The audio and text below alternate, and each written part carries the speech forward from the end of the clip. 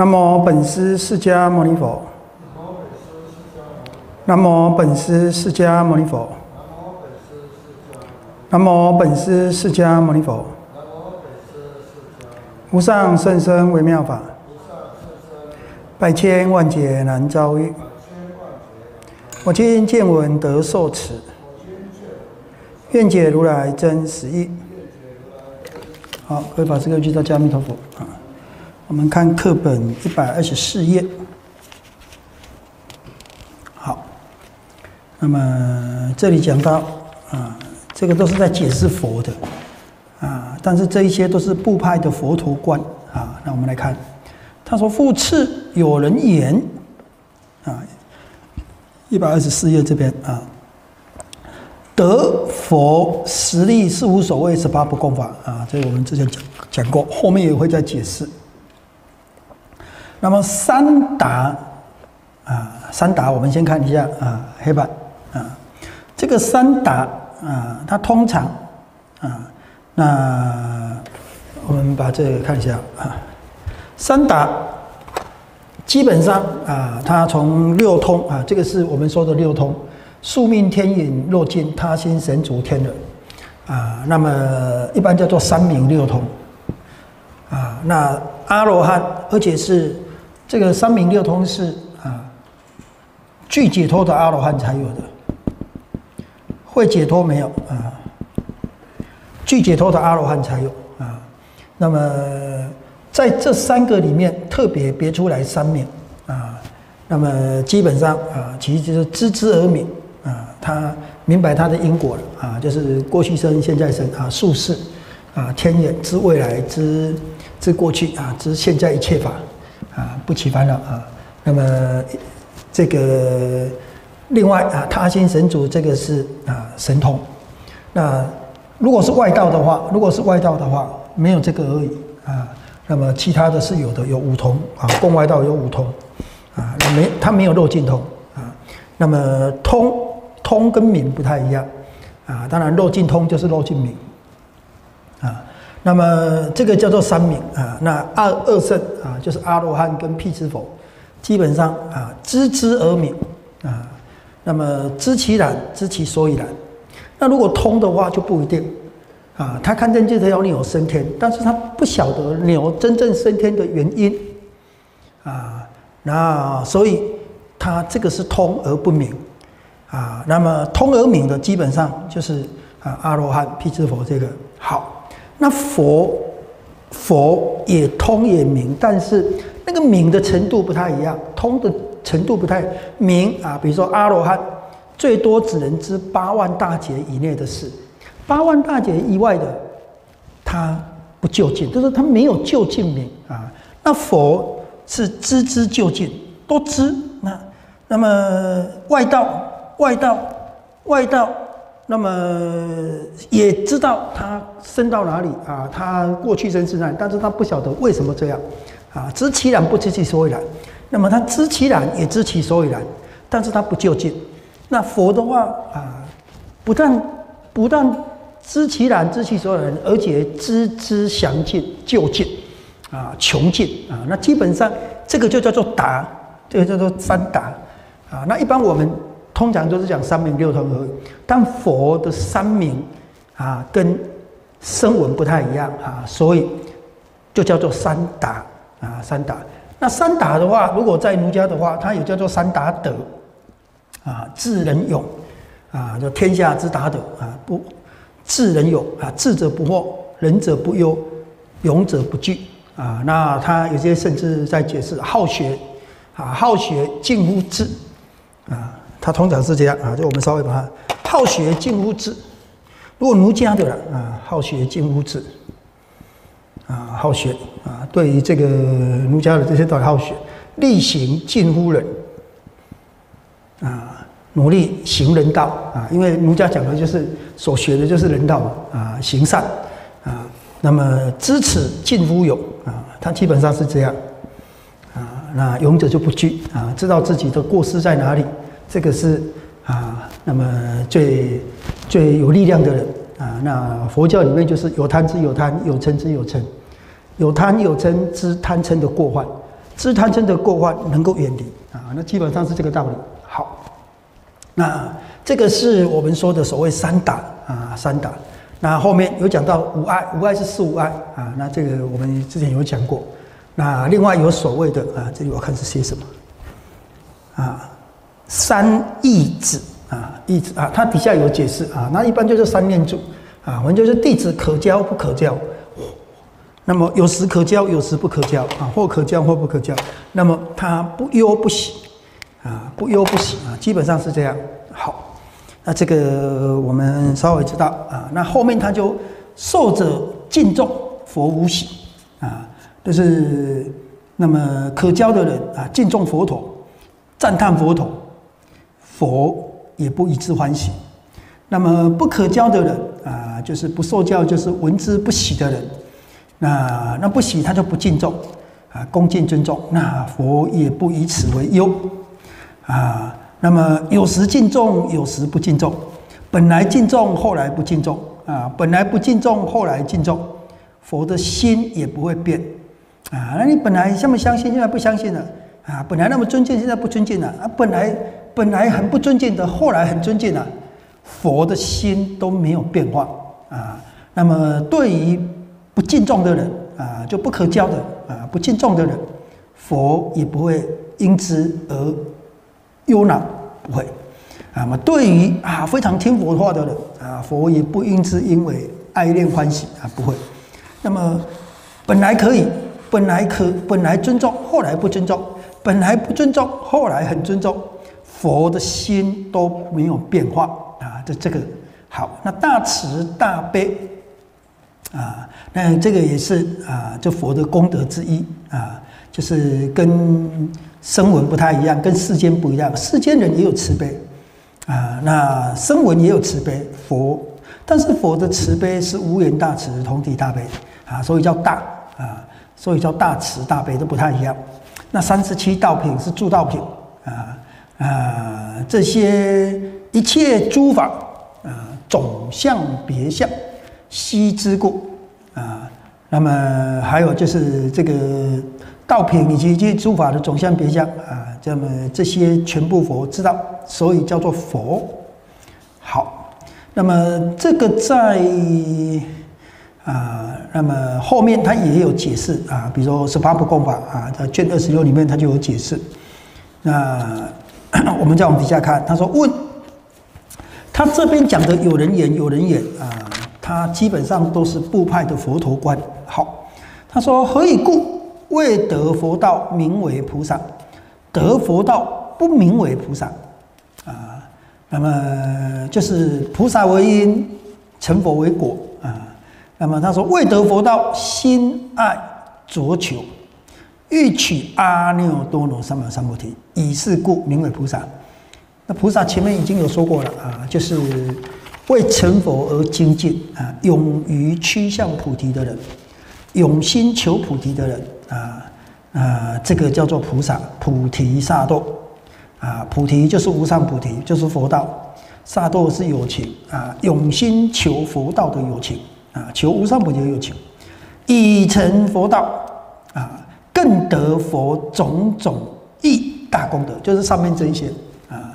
那么更有义名，就不叫做佛啊。那因为他已经成就成就了，那么叫菩萨是菩提萨埵。啊，那么我们把它简称了啊，叫菩萨。那基本上印度话基本上就是菩提萨埵啊，波德萨埵啊。那么这个你为了永心求菩提的人，那他现在已经不是求菩提，他现在已经得菩提啊，所以他就不再叫做菩萨了，那个名就不一样了啊。所以就另外一个名字就叫做佛。佛是佛，基本上是觉者。觉悟者，觉悟一切法的人啊，得就近的人啊，所以就叫做佛。佛也是简称啊，具体讲应该叫佛陀啊，不打啊。我以前很多种翻译，有时候叫糊涂啊。那这个这个胡人的胡啊，那么这个图画的图啊啊，这个秦朝叫做不得啊。那不得什么不得什么啊？就是进不得此啊那么所以啊，这个是音译的名词啊。他说，譬如王子未做王啊啊，举个例子，好像啊，这个王子还没做王的时候叫王子，已经做王就不叫王子了，叫王。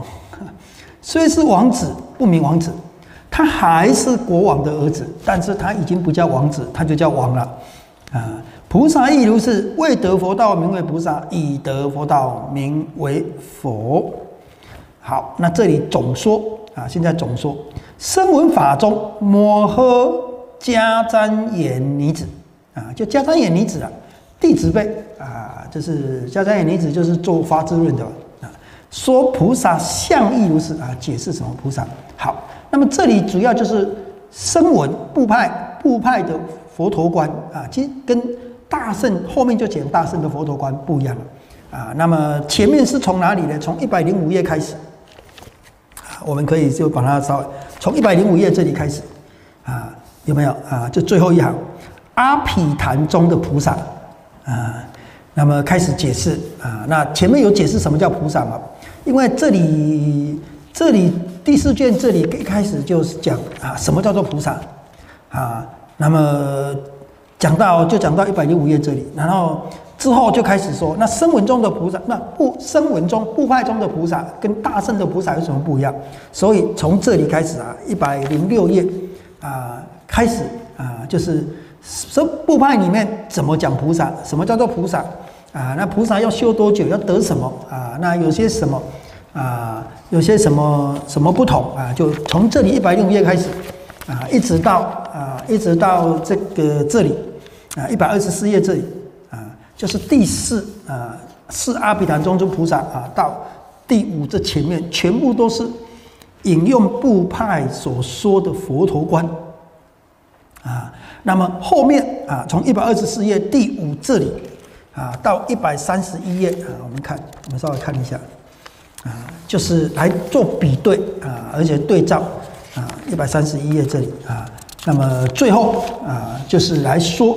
啊，修正啊，就是部派是这么说菩萨的。那现在告诉你啊，这个真正的菩萨应该是怎么样啊？所以修正部派的菩萨观啊，就是这些论师说的菩萨啊，其实啊，有些不是这样的，不是这样说的啊啊，大圣很多都其实就是在回归佛陀的本怀啊，那么而且更深。更深刻的来说明啊，这个佛法真正的意思在哪里？啊，这个名词真正的意思在哪里？其实这种这种例子在《阿含经》里面也有啊。比如说，佛陀会讲什么是沙门？什么叫做沙门？啊，不是剃头穿袈裟就叫做沙门。什么是婆罗门？不是你你的种姓，你出生婆罗门种姓，你就叫做婆罗门。婆罗门是高贵的意思嘛？那么一般。啊，你是婆罗门种姓，你就叫做婆罗门。那佛陀就说，真正的婆罗门是什么？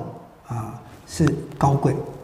啊，那么这个那沙门，一般你沙门，你就是剃头着袈裟，要要求解脱的啊。那佛法说，真正的沙门啊，这勤修戒定慧，熄灭贪嗔痴，是清净啊。你有你有离欲清净的那个就是沙门。啊，那真正婆罗门是品德高贵。啊，那么这就是婆罗门，是高贵嘛？品婆罗门是高贵的意思嘛？高贵种姓嘛？真正高贵的不是你的血统，不是你的出身，不是你的家庭，啊，不是你七世都清白，不是，而是你品德高贵啊。那么独住不是一个人自己在山里面住，叫做独住；不跟烦恼共住，叫独住啊。你看这个，这个其实像这一种哦，像这一种啊，那么厘清很多真正的观念啊，还很多，比如说山火。啊，那么什么样的火要常常让它点燃，不可以消失啊？戒会定位的火，什么样的火要随时照顾啊？有时候要让它消失，就是怎么样贪嗔痴的火啊？比如说六方里里六方，真正的李六方不是东南西北上下啊，而是礼礼敬父母，照顾礼敬父母，尊敬师长啊。那么孝顺父母，尊敬师长啊，照顾家庭。啊，那有爱有爱你的这些朋友，然后照顾这些比你低下的这些仆人，然后尊敬比你修行的这些沙门婆罗门，这个叫做礼六方。好，你看像这样的，你在《阿含经》里面你会看到类似像这样的一个说法。那么大圣，其实像这样直接接触到这件事事理或这个法的核心啊，那么大圣其实基本上就是因为佛法从佛陀灭后到部派，那么他已经有一点点名相化、仪式化啊，所以他在这一部分啊，那么直接。探触到佛法的核心，我们就说佛的本怀啊，啊，那没有错啊。佛陀也跟你讲，佛陀也跟你讲啊，独一静处专精思维啊，啊，你找一个安静的地方，阿兰若住，独一静处专精思维啊，啊，那么你不要乐于跟大众共溃闹共住啊，啊，那个会起烦恼啊，啊，那么，那么，但是真正的独住啊，是不跟烦恼共住，那个才是真正的独住。啊，而不是你一个人住啊。那比如说啊，比如说讲空三昧好了啊。那《阿含经》里面，舍利佛，舍利佛修空三昧。舍利佛有一天去见佛陀，佛陀说：“你从哪里来？”啊，我在林中修修修三昧过来。你修什么三昧啊？修空三昧。佛陀说：“你的空三昧是上座禅啊，就是就是最有修行的，就老修行修的啊。”那么佛陀后来就讲，什么叫做真正的空三昧？空三昧不是你你在坐在这边不动观一切空，叫做空三昧。所以佛陀就跟比丘讲，如果我们要修空三昧，当然你就在那边观，可是你你你这个空三昧就是无无我。那么你这个无我，你能够在不打坐的时候，就是你在你在行住坐卧里面托钵的时候、起食的时候。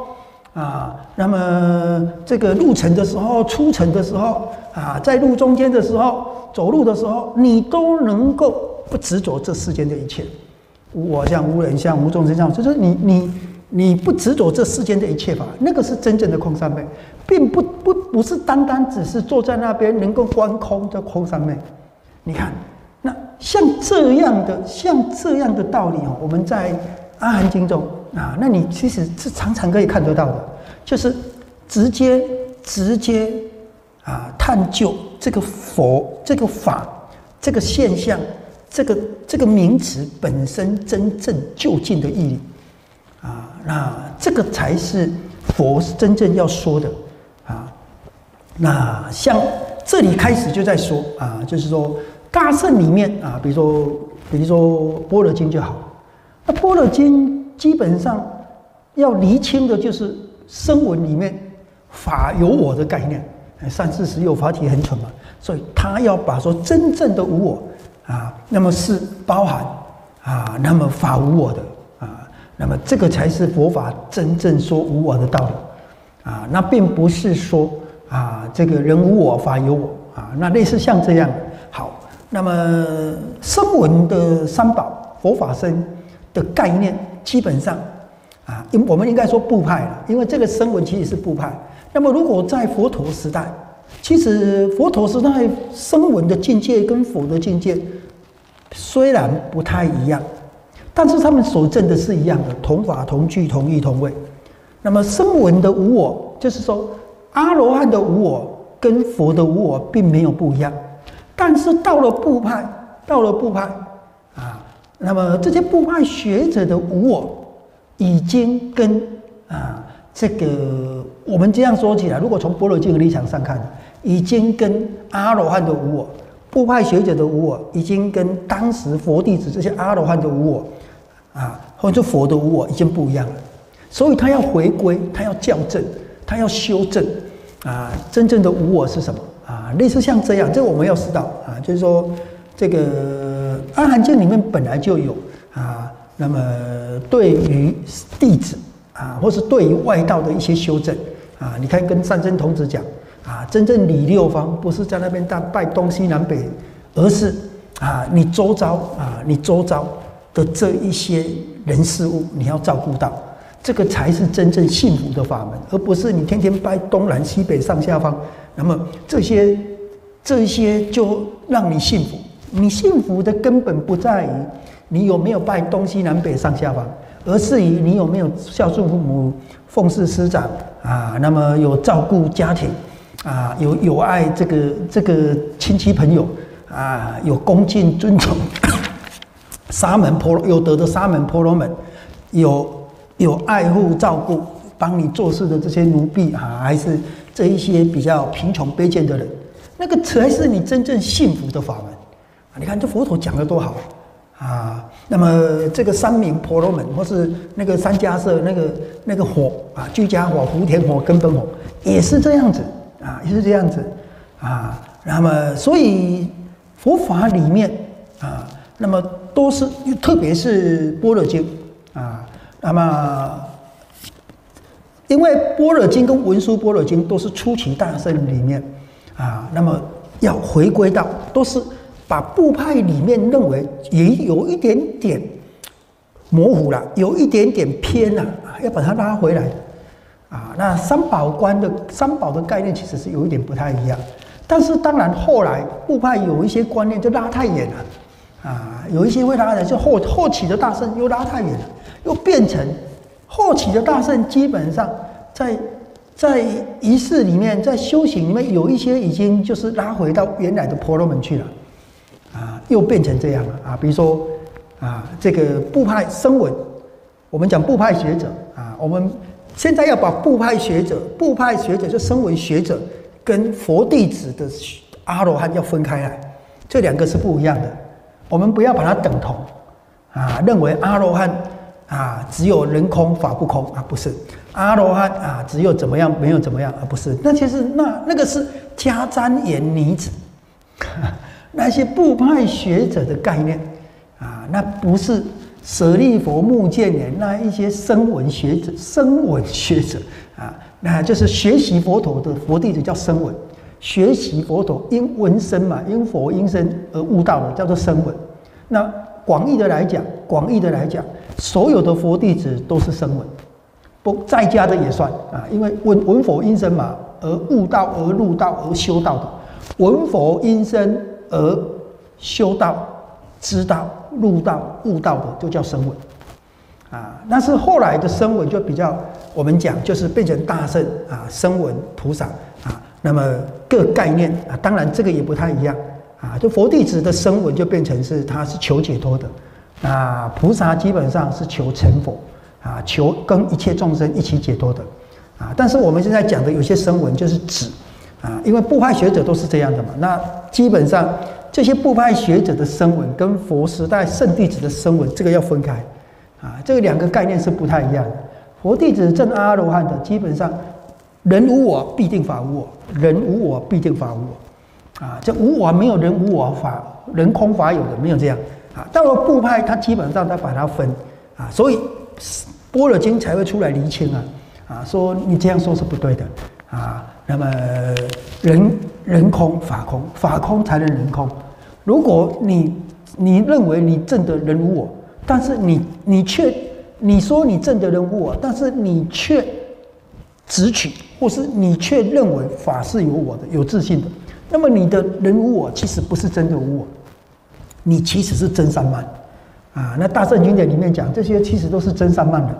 啊，那并不是真正的为正言正嘛，其实他没有真正正得解脱，啊，那这个概念，这个概念，其实在大乘佛法里面是比较初期大圣里面是常常在讲这个，啊啊，所以我们再往底下看，那后面就讲啊，所以他讲评论啊大圣的菩萨观啊，前面讲声闻法中摩诃迦旃延女子啊，那么他修正这些的说法啊。他说：“那评论说一切有部菩萨观而显大圣菩萨观的殊胜啊，那大圣的菩萨观其实还有分啊，这个般若经的、法华经的、华严经的啊、圣曼经的啊，那么基本上这个佛陀观、菩萨观其实也不太一样啊，其实不太一样啊，那。”但是啊，这里因为龙树菩萨，我们现在看的是大智度论。大智度论，龙树菩萨是极出奇大圣的大成的人啊啊，一世纪的一百五十年到两百五十年左右的人嘛。好，那么他是他是后面的，就是出奇大圣，那么后期的或中期的啊，因为龙树龙树那个时代没有唯识，没有也没有所谓的如来藏学说是没有的啊。但是那个时候有所谓的部派啊，那部派前面是有所谓的沙门婆罗门啊，但后来的这个后期大圣其实有一些观念已经跟原来的婆罗门有一些些混合啊，那所以后来就讲增长心。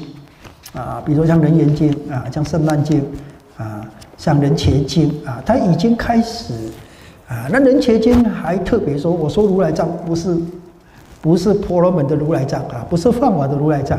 那到后来就变成已经慢慢慢慢就，但是这个时候龙树还没有时代还没有这些啊，他单纯的就是比较单纯的就是以这个声闻部派的有部的，那个时候有部最流行。部派在流行的时候，大圣也兴起，并不是部派衰落了，大圣才兴起，不是哦。啊，部派正兴起的时候，大圣也初期大圣也兴起。那么兴起的目的，其实就是要啊，要怎么样？要要这个来修正这一些声闻学者的概念，就好像婆罗门兴盛跟六师外道兴盛的时候，佛教也兴盛。那佛教兴盛，佛陀兴盛，就是修正原来婆罗门，婆罗门是传统宗教，婆罗门是传统宗教。那么这个六师外道是新兴宗教。那么六师外道里面的一些说法其实是不对的，所以佛教佛陀成佛之后知道，就来修正婆。你看《阿含经》里面律典里面都是修正婆罗门既有错误的观念。那么沙门本来是反婆罗门的，这是要也是要修正婆罗门错误的观念。反就是你说的不对，不是这样的，不应该这样说，不应该这样修啊。基基本上是这样的。但是沙门里面也很多种说法啊，所以有六沙门里面有七大沙门团嘛，有六师外道啊。我们把这个写一下啊，顺便顺便复习一下啊，就因为我们大概知道。那么。这个，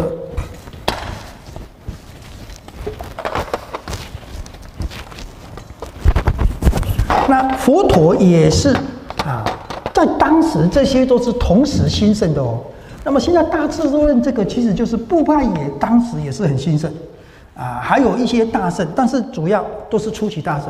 那初期大圣最主要的就是我们讲初期大圣最主要的就是般若经，般若经还有后期的哦，有中期的哦。啊，但是这个都是初期的。那《华严经》《法华经》啊，还有还有像像《波州三昧经》啊，《无量寿经》这种，也是都是在初期的里面。但是其实讲的也不太一样啊。初期像《维摩诘经》，这是比较偏向文殊般若的这一部分啊，《宝积经》啊这一类，都是初期大圣里面的。就说我们现在读这些书哈，我们要知道它是定位在哪里。就比如说《大智度论》，《大智度论》基本上是。啊，龙树菩萨结集出奇大圣的，啊，那么由龙树，我们把我们我们之所以叫出奇大圣，是以龙树，以龙树为标准的。龙树里面，龙树里面提到的所有经典，都把它归类到出奇大圣。龙树之后的啊，比如说五祖、世亲这一些，它基本上就是中期的，啊，就是龙树之后的，啊，它就不归在出奇大圣里面了哦。所以初级大圣是以龙树为标杆的来分别的啊，这个我们要知道。那么龙树基本上就是初级大圣的兴起，其实跟声闻部派当时的部派声闻是有关系的。他就是看到不应该这样说，不应该这样修啊，那么他才有另外的说法，那是来修正的。像现在他就在修正啊，修正菩萨不是这样的。佛陀不是这样的，修行不是这样的，啊，那么，那么正正德的佛法不应该是这样的啊，就开始说这些，啊，那么这个我们要稍微知道，那么这个其实在佛陀之前，他面对的那个环境也是这样，就好像我们说，哎，这个他大圣啊，在纠正声闻不派这一部分，啊，其实在佛陀时代已经有了。啊，告诉那一些弟子啊，真正的真正的独住，不单单是一个人住，而是不跟烦恼共住。从就近意义上说，所以叫胜义地嘛。从就近意义上说，真正的空三昧，不只是你能观空，而是你能行空。行空就是你你在行住坐卧中，你都那个那个那个智慧都会现起，不执着一切法，而不只是你坐在那边不动啊，那么你能观空，而是你你走路的时候，你托钵的时候，你起食的时候，出尘的时候，入尘的时候，你都不执着一切法啊。你看他，我们要把这个东西，就是就是整合起来，我们才会知道哦，他他真正在讲这些的用意是什么。啊，那我们说佛陀时代，其实在佛陀时代就这样，所以大圣哦，像初期大圣，他并不是啊，在佛法之外，在佛法，我们我们后来会误会哦，就是说初期大圣佛法是在佛法之外有一个新的说法，不是不是这样子的，初期大圣不是在佛陀说说法上有一个新的说法，不是，它是本来旧的说法。只是佛陀原来根本的说法，经过布派之后被被忽略、被掩饰或被稀释掉了，现在重新把它确立出来而已。啊，所以比如说人间佛教，人间佛教也不是啊，在佛法之外另外说的，不是的。人间佛教就是佛陀原本的教法，人间佛陀在人间的教法。人间佛陀的教法，只是被稀释掉、被被覆盖住了而已啊。那么，所以现在重新把它接力出来。那现在大圣龙树菩萨也是这个意思哦啊。那我们刚才要讲，就是说，其实这样的一种观念，皆是真正真正的法啊。那么正确的法的这种概念，在佛陀时代就这样。那龙树不过就是跟着佛陀学而已啊，那么把佛陀真正的真理说出来而已啊。那佛陀时代啊，我们稍微也把这个稍微认识一下。沙门婆罗门啊，婆罗门是传统宗教，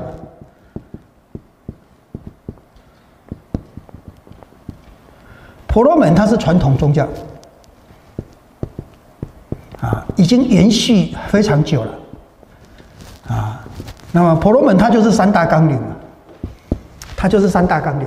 啊，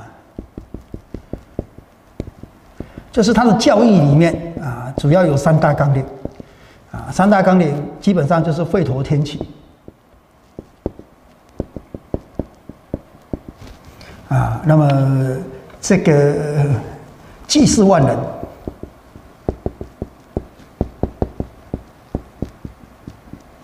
婆罗门至上。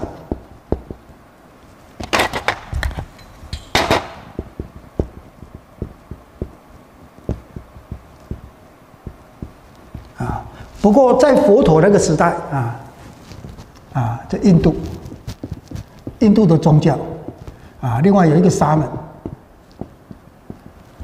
沙门其实就是修正婆罗门，基本上是反婆罗门的，或是啊，修正婆罗门所说道理不是这样，道理不是这样讲的。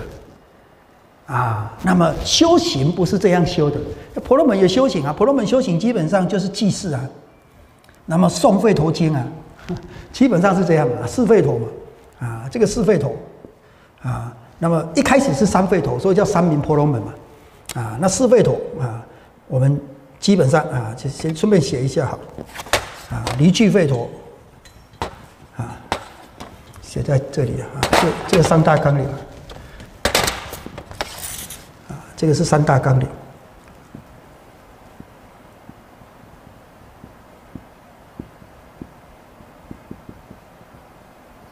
啊，那这个有四吠陀啊，离句吠陀啊，说摩吠陀、叶罗吠陀啊，原来这个叫三明，所以叫做三明婆罗门嘛。啊赞颂名论啊，歌咏名论啊，那么祭祀名论 这三明啊啊，然后另外阿大佛会头，阿大佛会头是持咒的啊，习斋的，习斋真府的，这个是后来加进去的啊，原罪品这个比较后面啊，那这是最早就有的。那么婆罗门啊，就是诵吠陀经，诵这些经，那么举行祭祀法会。啊，说摩吠陀就是唱歌的、放拜的啊。所以后来像我们的放拜，我们的放拜其实也是受到后来受到婆罗门从从元朝元朝开始种蒙蒙古的是以藏传佛教为主的嘛。那么藏传佛教是受婆罗门影响最深的啊，受婆罗门影响最深的啊，基本上就是以婆罗门法来说。来就是基本上是结合婆罗门法的啊，那么这个叶罗飞陀基本上啊，说魔基本上就是怎么唱怎么唱，放拜啊，放拜在阿含经里面，在律典里面背啊，等一下我们再先把这个讲完，再稍微讲一下。啊，因为我们其实现在都混在一起了，佛法外道、婆罗门、沙门、六世外道全部混在一起了。啊，那到中国来，把道教、儒家又混在一起了，儒释道，啊，儒释道。这个释里面其实已经有沙门、婆罗门的东西在，啊，它其实就是修正，或是反对，或者反对，或者修正婆罗门的东西，啊，那这个是新兴宗教。那佛教基本在在新兴宗教里面的新兴宗教，就是沙门啊，啊。那沙门里面啊，那等一下我们再稍微把把这个东西讲一下。因为龙树哦，龙树等一下再翻过来，我们就知道啊，龙树是在部派部派佛教之同时，佛教也是婆门，婆罗门没有灭掉哦，沙门也没有灭掉哦，都是同时的哦，啊，都是同时。那佛教就是在厘清这些观念，这样的说法不对，这样的修行不正确。所以就强调正信跟正见嘛，啊，正信就是正信沙门取坦，啊，正见就是厘清这些做错误的观念，啊，那龙树有一点在做这种事啊，只是他的范围比较局限在佛教里面部派里面，那么以以什么为主？以这个说一切有部啊，厘清说一切有部一些错，因为他的势力最大，他流行最广，他人最多啊，基本上是这样。那新兴宗教里面，啊，基本上有分外道跟佛教，啊，那外道就是六世外道，我们写这里，写在这里好，啊，外道，那外道就是六师，这个佛教写在这边好了。啊，所以说我们要把我们要有一些概念啊，这种概念清楚了，我告诉你，你在看佛教就会比较清楚。就是说，你马上能够定义我现在看的是什么，啊，他他是在哪一个角度上，哪一个角度上，哪一个程度上说这些事的，你会比较清楚哦。啊，那你你就读书不会乱，你不会乱，啊，比如说你你现在在屏东，你就知道屏东在台湾是哪一个位置。啊，然后他他是在屏东的哪一个区啊？然后在世界的哪一个范围啊？马上你马上定位清楚，你马上能够定位清楚，你是从哪一个角度、哪一个程度说这件事的？那这样你学习佛法哦，啊，你既能够找到它的纲要，又能够明白它的它的维系处，又知道它的纲要，又这样你有变有助于你贯通贯通整个佛法。啊，你在说这件事的时候，你马上就知道他是在说什么。啊，你学习佛法要这样，你比较会清楚。那六道里面的话，六道啊，阿依多啊，我们写在上面一点，等一下不够写。沙门里面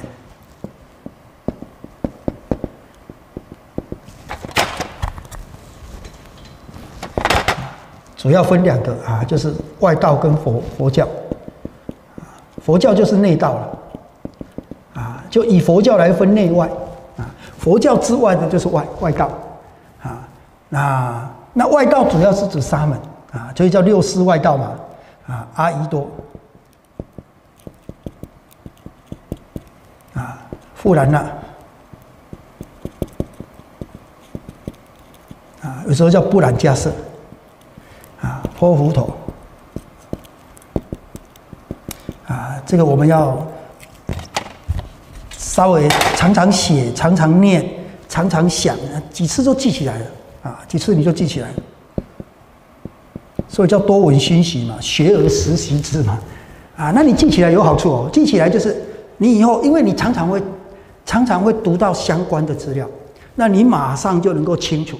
就好像你认识这个人，你马上就知道这个人他家住哪里，他的父母是谁，他的兄弟姐妹是，他是做什么职业，他是怎样，你马上对这个人就马上很清楚。说他在讲什么话，他为什么这么讲，他为什么这么讲，他讲了些什么，你马上背景资料马上现前，现前你很清楚他为什么讲这句话，他讲这句话是基于什么角度讲的。好，那我们现在学习佛法也是这样，这龙树龙树的背景。那龙树讲话的那个背景知识，你马上现前。你知道龙树为什么要这么讲？他讲这句话是什么意思？是对峙哪些人？是在说明哪些事？是在厘清哪一些事？哎，你马上很清楚哦。那这样你学习佛法，我告诉你，事倍功半，那事半功倍了。这就是你你你稍微你跟一般人，你听了你，而且你很容易记住。那阿依多富兰那泼浮头啊，莫切里。啊，这个在写不够，要写在这里啊。莫切里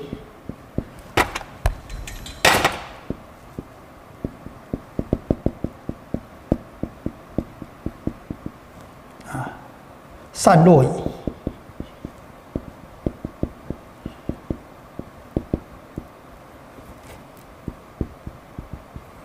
另外一个就是泥剑子啊，叫做泥剑落体子。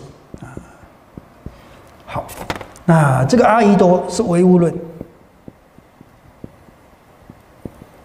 啊，经典里面有不同的说法啊，就是这一些有不同，但是我们大概整理出来，大概可以这么说了啊。这个是无因论啊，那通常就是啊，没有善恶业报因果，类似像这个，所以佛陀才会讲正信正见啊。那婆诃多是元素论。啊啊，世界是由七个元素组合的啊。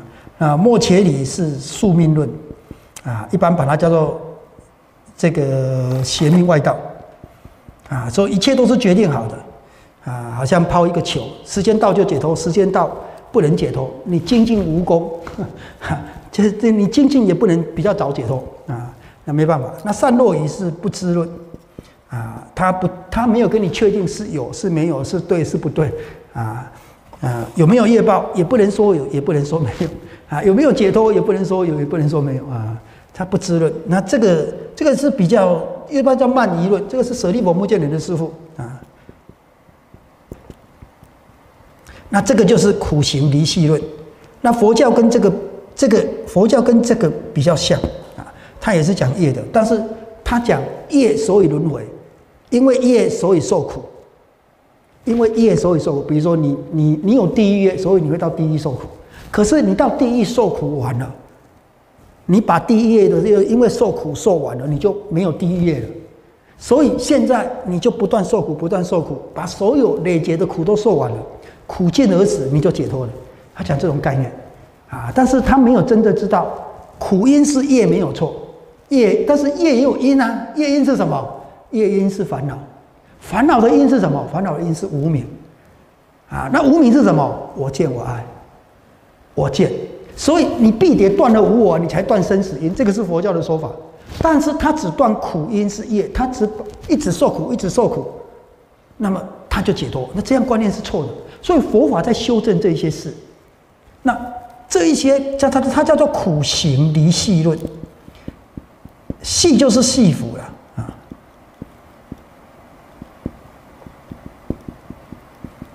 好。那当时的沙门就有这一些论，这一些论。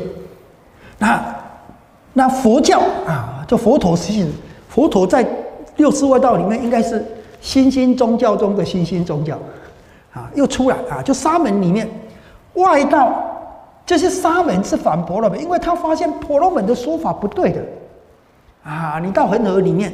啊，那恒河圣水，然后就可以消灾免难。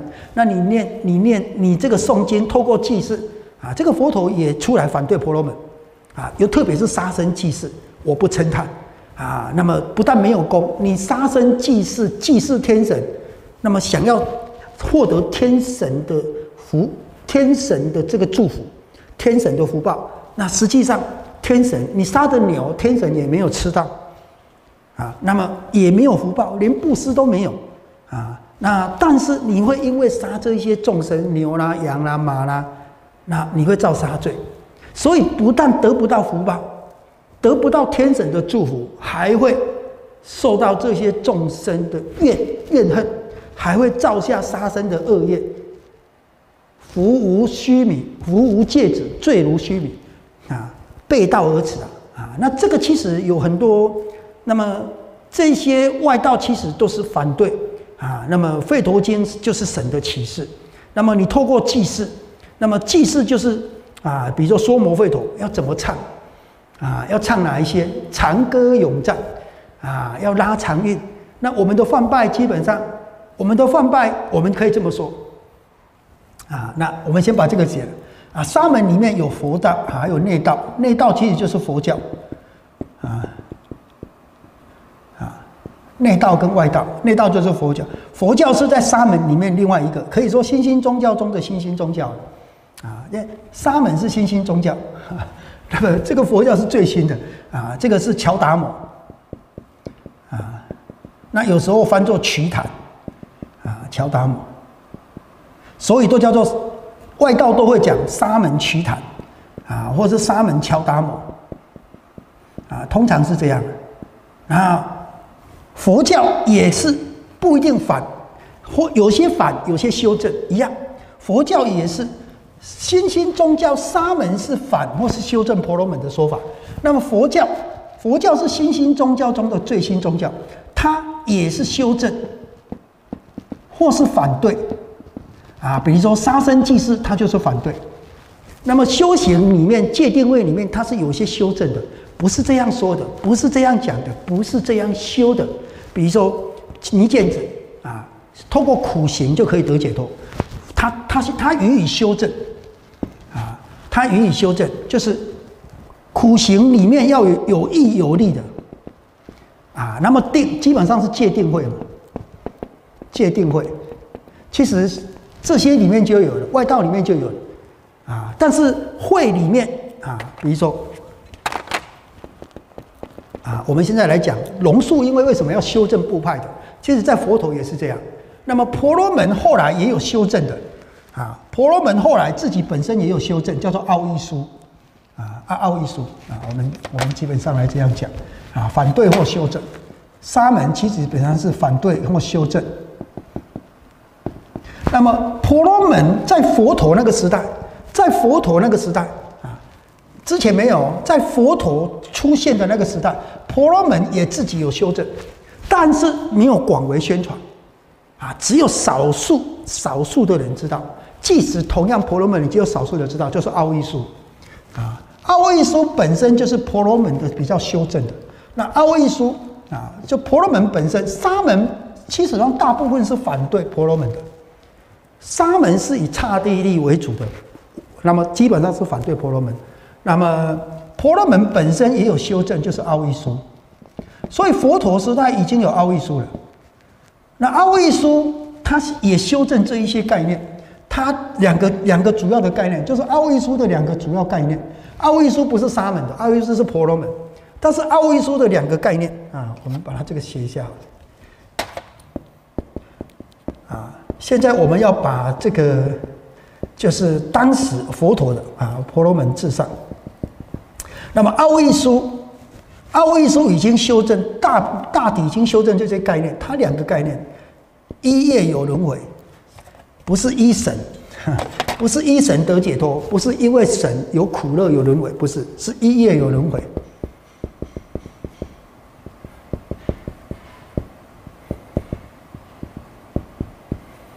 那么怎么样不轮回呢？依智得解脱，这个是奥奥义书主要两个核心思想啊。但是他你看他已经是修正了，吠陀天启祭祀万人啊，透过祭祀，那么祭祀所念的经是吠陀经，那么祭祀的仪轨啊，那么是在说某吠陀跟祭祀怎么怎么唱，怎么赞颂，怎么赞颂，怎么赞颂，怎么仪式。啊，要念什么咒啊？那这些都在三，这些都在里面，四吠陀里面。啊，由谁来举行？由婆罗门来主持啊，主法啊。那么这一些基本上都在这里。那透过这个可以得解脱，升天得解脱。但是奥义书已经啊，奥义书已经给他修正了，一夜有轮回，一次得解脱。但是那个时佛陀那个时代已经有了啊。啊，奥义书可以算是婆罗门里面的修正的啊，但是并没有广为流传，广为流传的还是这个啊。那么只有少数的婆罗门知道，少数的那信徒就不用说了啊。那么一业有轮回，一智得解脱，佛陀基本上是认可的，但是有修正啊，包括这个一智，那这个智，这个智一智得解脱，这个智就是见什么？见真我。那所以，我们后来的，我们后来也是后起的大圣，其实就是受奥义书的影响啊。那么要见什么？见真我，真我又叫做放我，又叫做大我，啊，这是一样的概念。所以你看那个人切经就说：“我说的如来藏不是放我，不是真我，不是神我，放我神我。”那我们现在很多其实后起的，其实龙树时代还没有，龙树时代还没有啊。那么。就是后起的这些如来藏思想，基本上都是放我思想多，啊，放我思想多，啊，所以人切经就四卷的人切就说，我说的我说的如来藏不是放我，啊，那部派里面的独子部啊，不可说我，不可说我啊，非即非离我，不可说我啊，那个他也说我说的不是，我说的不是。啊，这个真我不是放我，但是就是看起来就是很像啊，那类似像这样啊，那当时就有反对了。那佛陀，佛陀基本上就站在这一些讲正性跟正见。那么比如说他讲戒苦行，苦行里面要有益有利的，有益有利的，有意义，那么有利益的，有益有利的。那么无义无利的苦行就不要啊，比如说举一只手啊，头埋在沙里面啊，这些就不用啊。那有益有利的啊，比如说头头行就摄受，所以他修正嘛，他修正啊。那定里面主要不是像与解行者，他修到非想非非想啊，那个其实那个没有办法引发解脱啊。那么不是只有定，定是要做官用的，定是要引发无漏会用的，要调伏烦恼用的，要让心有力量用的。不是以修定为目的的，不是的，所以他已经做修正了，他不是否定哦，啊，那有一些戒是否定的，啊，比如说这些无意无利的，无意无利的啊，他否定。有意有利的收受起来变成所谓的头头型，啊，这是我们的戒啊，比如说过午不食啊，但这个也可以啊，这个有益有利可以帮助你。啊，但重点不是吃跟不吃，重点是贪跟不贪。啊，所以他告诉你这些啊，啊，那你要了解，所以佛法的界定会界跟定，这是当时的共世界，会是佛陀独有的缘起无我的智慧，缘起无我四谛中道的智慧，啊，后来的会有一点就偏向啊，所以这个无我，这个无我到了部派，到了部派变成法有我，人无我，啊。那么到了后期大圣，人也有我，人也不空啊，就般若经讲空啊。到了后期的般若，有空有不空啊，有空如来藏，有不空如来藏啊。那如来藏已经不讲无我了，如来藏讲真我啊。那所以我们要了解这个。那龙树那个时代，龙树那个时代，他基本上是站在啊，这个是佛陀那个时代哦。那其实龙树的做法，其实是回到佛陀的做法而已。那很多人说大圣不是佛法，不是大圣的定义也很多，初期、中期、后期，秘密秘密大圣哦，那个就是那个都在大圣的概念里面了。好，那你就做显教了就好。那么大圣的大圣的观念也很复杂。那么我们现在讲的这个大圣，不要参到后期为是如来藏的啊，因为龙树时代还没有这些东西。那龙树的龙树，就我们先讲佛教的，你看佛陀的基本上就是。当时同时流行哦，同时流行。那如果龙树，龙树时代是这样啊，所以他这一些佛法僧的概念啊，龙树时代是部派，部派里面，部派里面有部啊，最最厉害，有部独大，啊，就是后来你会看到有部是独大的。那么有部里面也有反他的，比如说有部里面坚部，坚部是从有部出来的，但是他就反对有部的一些概念啊，啊，那么那比如说像像世亲菩萨后来的世亲。他也是从有部出来，但是他也对有部有一些修正，有一些反对，有一些认同。啊，佛陀其实也是这样的。那么你会看到不断在发展。那龙树时代其实是部派兴盛的时代。那么部派这些学者，我们要把它分开哦。部派的学者不同同那些佛陀时代的那一些声闻弟子，啊，不不不等同哦。啊，那我们因为我们都会把它等同嘛。啊，我们又不知道，就会讲啊，这个声闻是怎么样？这舍利佛目犍的，因为因为后来的后来的大圣经典会以这些阿罗汉来代表声闻弟子，所以就会变成这些声闻弟子执着什么执着什么。比如说《维摩诘经》，啊，这舍利佛用舍利佛验作来说，真正的验作是什么样？但是舍利佛会不知道吗？舍利佛当然知道啊，但是他只是以舍利佛为例子来说明那些声闻弟子不知道。啊，真正的验坐不是坐在那边不动，就叫做验座，是是是这样啊，就讲这个嘛，啊，那所以，那佛陀龙树时代，那么有出奇大，龙树是出奇大圣的集大成者。那出奇大圣其实还包含蛮广的，但是它主要啊，它是其实它笼统啊，但是它主要是以般若经为主的，啊，所以大智度论就是解释摩诃般若波罗蜜的嘛。三十卷的般若经还有分哦，原始般若、下品般若、中品般若、上品般若啊，理趣般若啊，密教的般若啊。那我们说像像这样的话，比如说啊，比如说后期啊，后期初期大圣已经开始开始有一些放拜啊，比如说像《华华经》啊，他这个这个要用放拜来供养啊，这些那。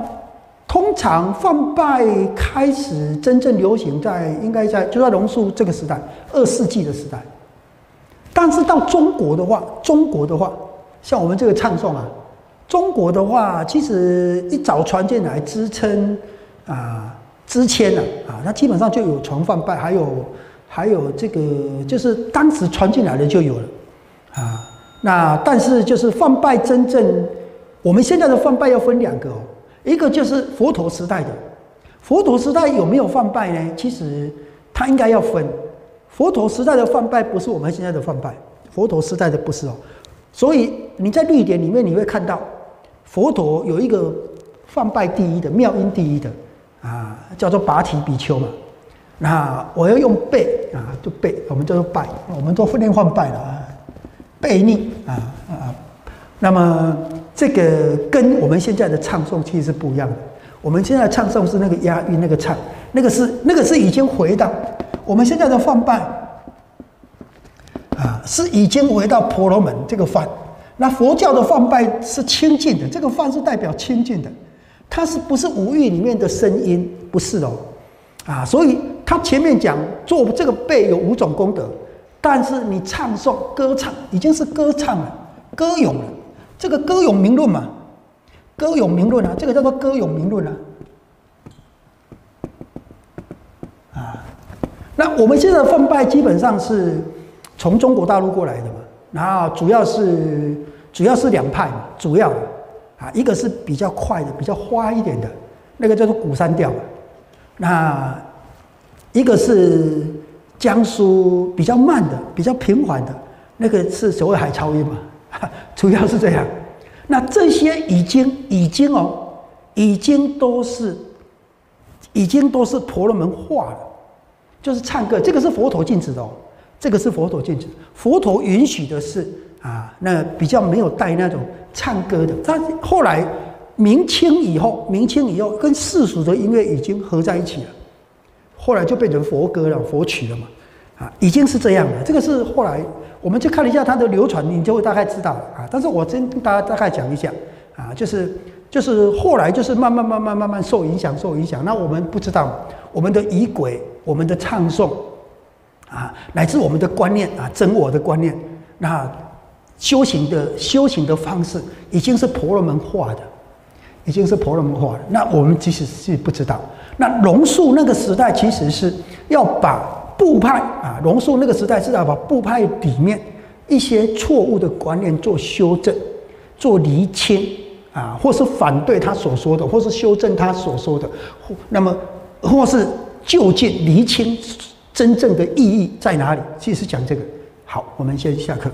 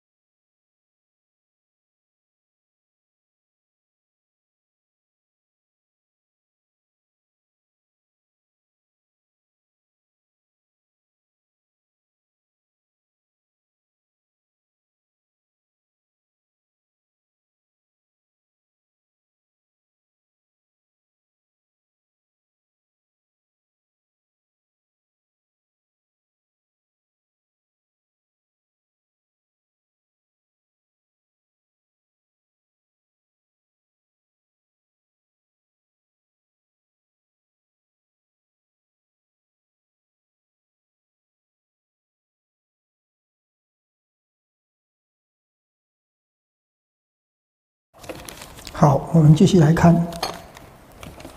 他说啊，现在开始讲啊，这个大圣的菩萨观啊，前面是部派的菩萨观啊，啊，部派里面也有菩萨啊，南传的也有啊。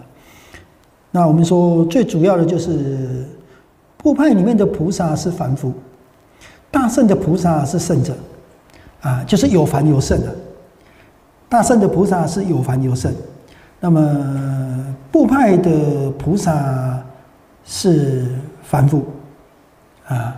那么要成佛之前的菩萨也还是凡夫，但是如果从大圣来讲，要成佛之前的菩萨是一生补处菩萨啊，他的能力甚至超越阿罗汉啊，那是一生补处菩萨啊，那。所以要来成佛以前，他已经是圣者了。那但是如果从部派的观念里面来讲，成佛以前还是凡夫啊。好，那么这个是最主要的差别。那么部派还有一个就是部派的菩萨里面，大概承认的这只有两个啊。成佛以前是菩萨，那么已经成佛的释迦牟尼佛，将来成佛的弥勒菩萨，就这两个而已啊，没有其他的菩萨。那么大圣的菩萨是只要发了菩提心就叫做菩萨，所有无量无边的菩萨，将成佛的菩萨也无量无边，啊，那么那么刚发心的菩萨、初发心的菩萨啊、久修行的菩萨也无量无边，啊，凡夫圣者的菩萨都非常多，啊，那这个是部派菩萨跟大圣菩萨里面就是菩萨观里面比较大的差别。啊，一个就是部派里面或声闻里面啊，大概像南传也一样，他只承认释迦菩萨，但现在释迦菩萨已经不叫做菩萨，叫做释迦佛，啊，释迦如来。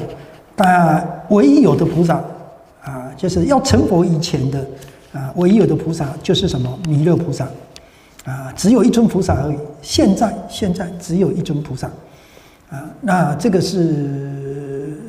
部派里面的，我们声闻里面的，那大圣里面的，菩萨无量无边啊，菩萨可多了啊，那几千几百万，而且不是只有世界，这个世界有他方世界也很多菩萨啊，那么非常的多啊，这个是不太一样。好，我们往底下看，他说摩诃人言啊，就是有些大圣的啊。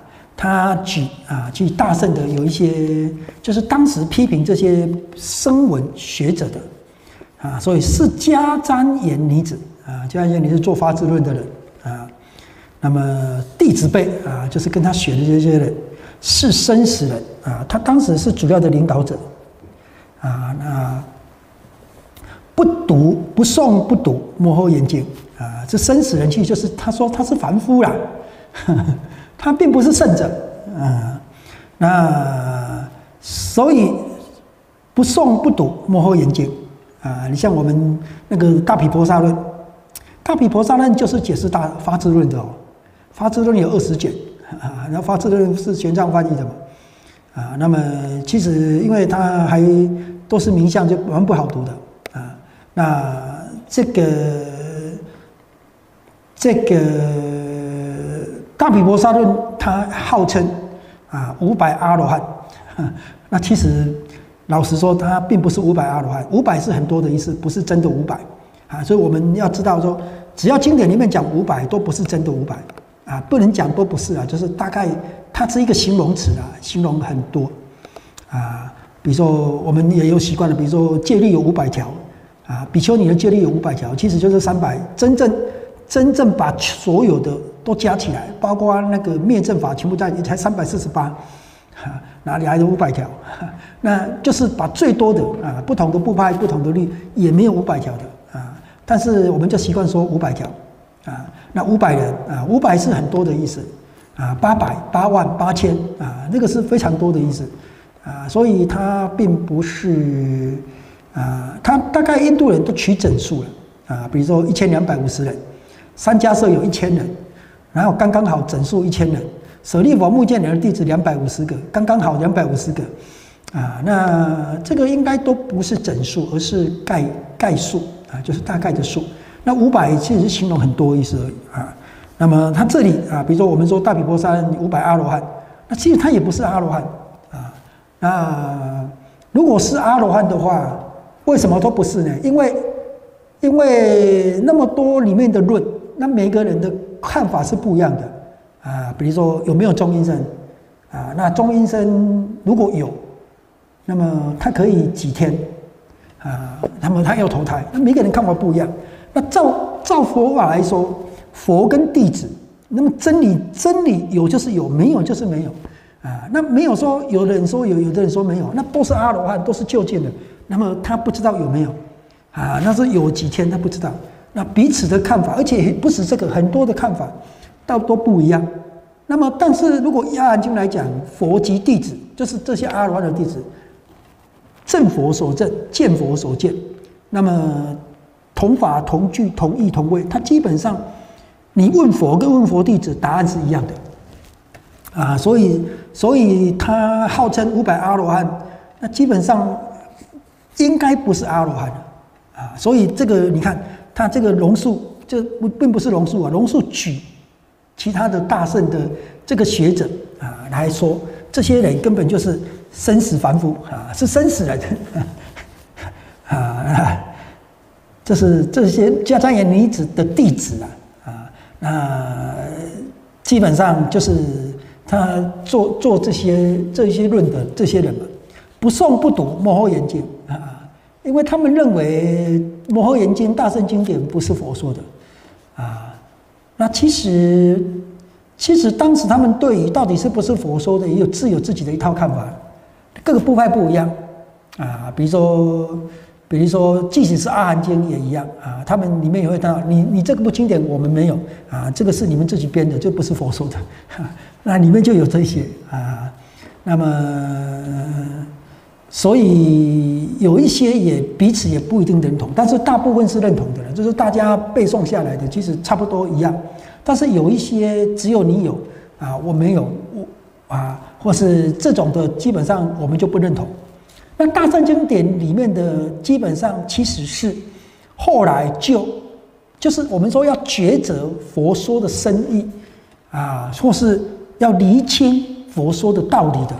那当然没有啊啊，当然，因为你这样说是不对的。但是我要告诉你，所以有一种新的说法出现，但是这种新的说法不是后来加上去的，就是回到本来的说法。其实是这样的，我们刚才有举了很多例子，就他回到本来的说法啊。那么，比如说，你说真正的沙门就是什么？沙门的定义就是剃头、着袈裟、托钵乞食，这个就是沙门的相啊。但是，佛陀告诉你，真正的沙门啊，并不是只有这样啊。那这个当然就就这些就是要厘清它的真意了啊。那大圣经典里面，当然啊，你说它它并不是像像啊那种比较。一般的自私的说法啊，它并不是这样。不过，它是要回到原来佛说的所说这个法的本怀啊。修行应该这样说，修行应该这样修，道理应该这样讲啊。它 基本上是这样子的嘛。好，所以说不诵不读《摩诃言经》大圣经典啊，不是大菩萨，不知诸法实相啊，就是不知道一切法的如实相。是，它应该是这样的啊。重点在，重点在正见啊。那么，所以你看佛陀时代也是这样啊。他他厘清那些婆罗门的祭祀根本就没有意义，而且他说，因为婆罗门他也有阿达伯持咒嘛。他说见地的人啊，就是你真正有正见的人，或是见到真理的人。那么，即使你遭遇到生命危险，或是你生了重病，很苦。啊，没有方法可以离这个苦。如果有人跟你讲，你吃这个咒吃多少遍，病就会好，你也不会这样念。啊，就是你即使身受重病，而且很苦，快要死了，你也不会因为有人跟你讲这个咒很有威德力，你吃了多少遍，你的病就会好，你可以灭苦，你就开始吃，绝对不会这样。那你会这样，就表示你没有正见，你没有见地。见地人持一句咒，不可能持一句咒、两句咒、三句咒、百句咒、千句咒，能令这个病好。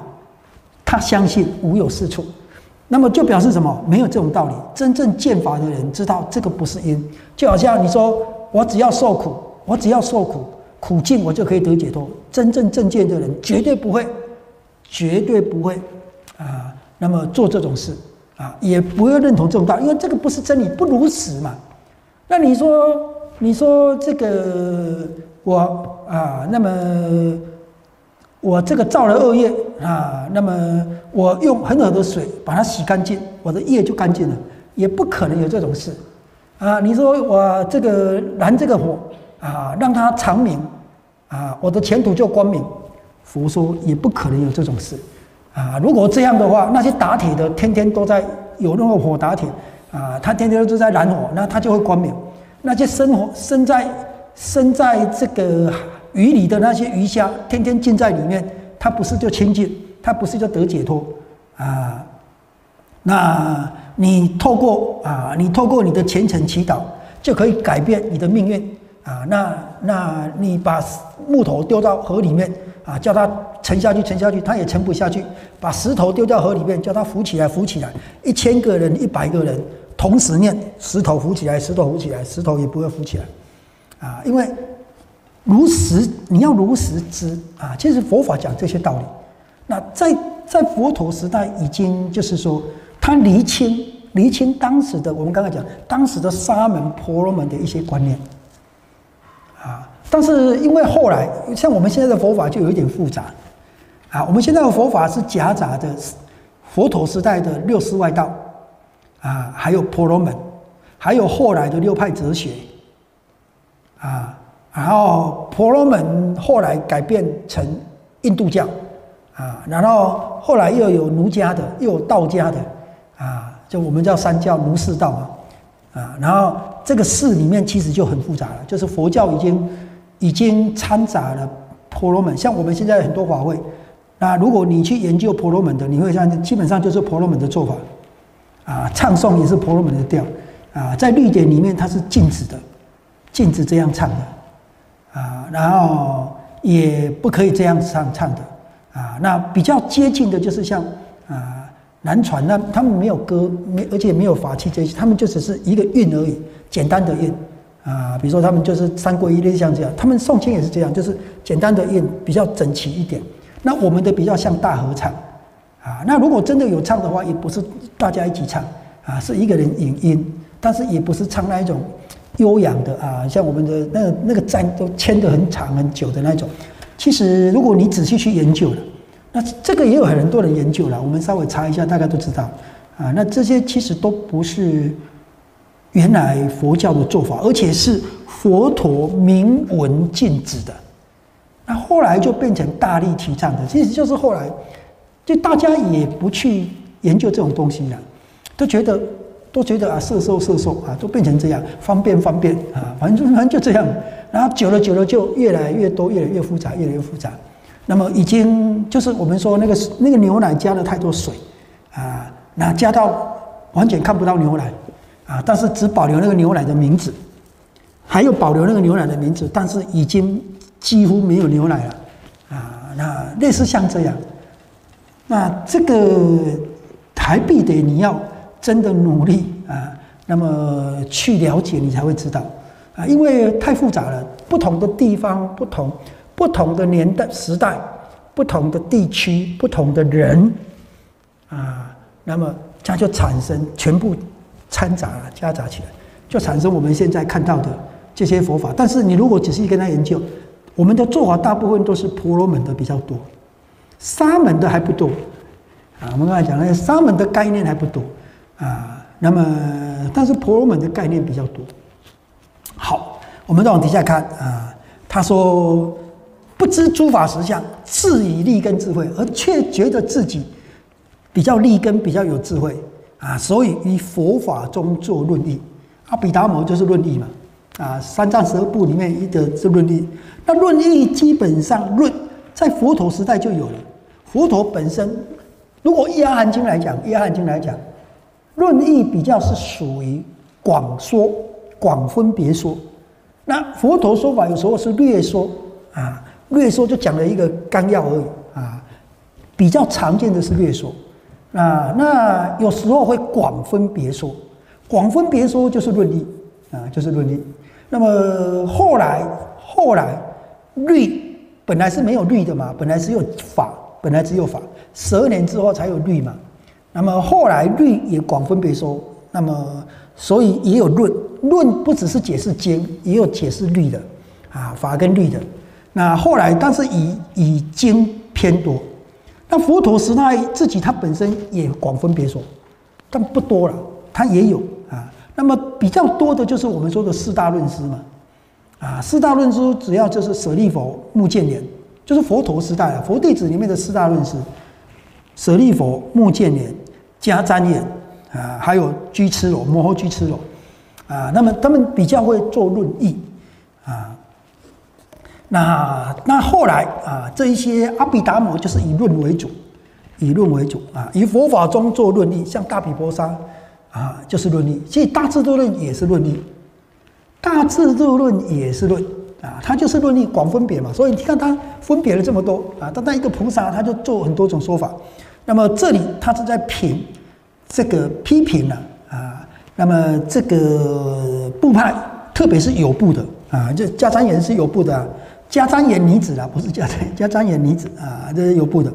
他说：“于佛法中做论义啊，底下这个就是啊，诸结使自定根等于中作义啊。那他你看他就是这样啊，诸结使中啊，他就是你看这个加瞻延女子写的发智论，发智论又叫做八见度论。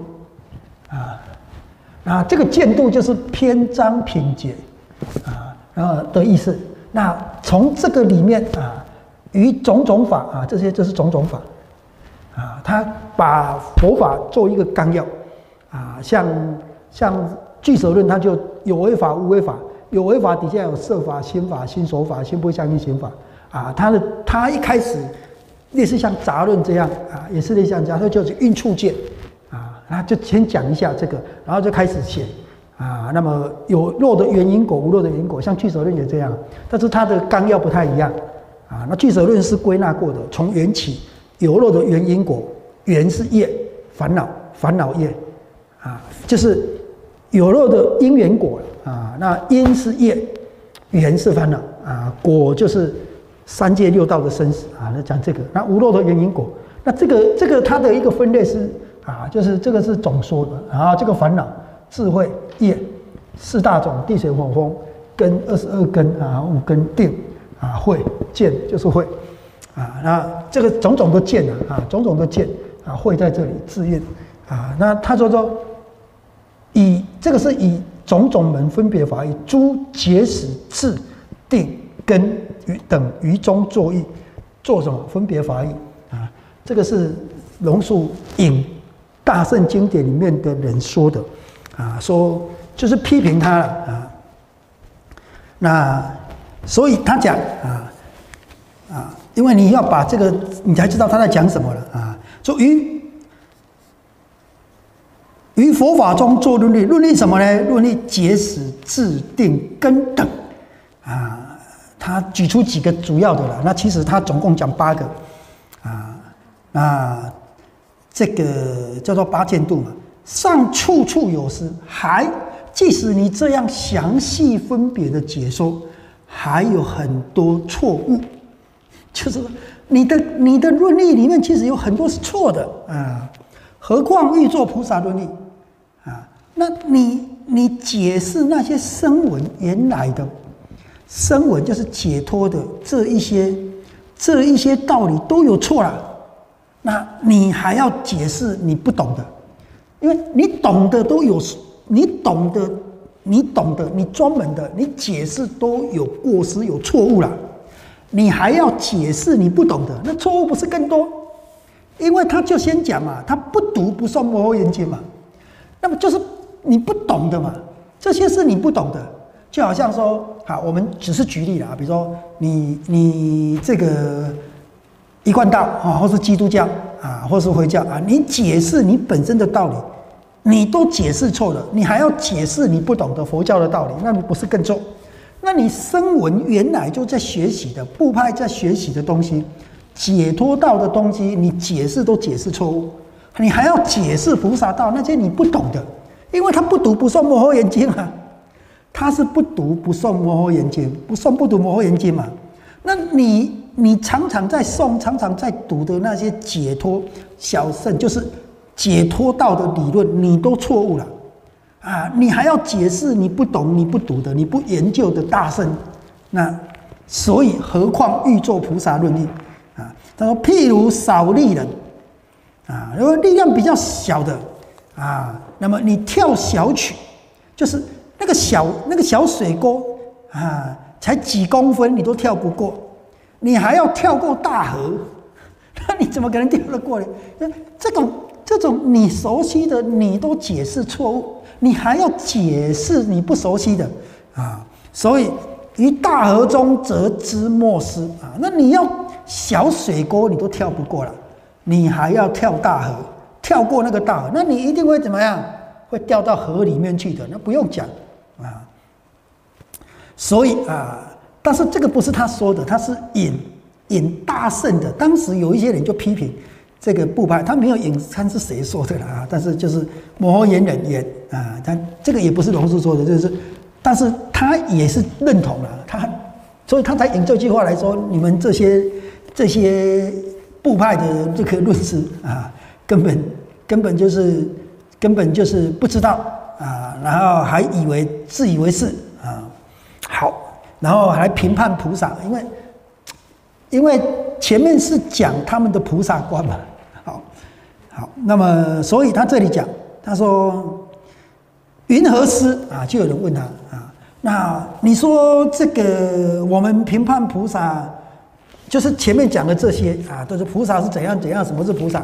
那我们哪里讲错了？哪里讲错了？你可以说说看。这云何师就是你讲的，你讲的。小圣的概念，你们熟悉的都有过失的。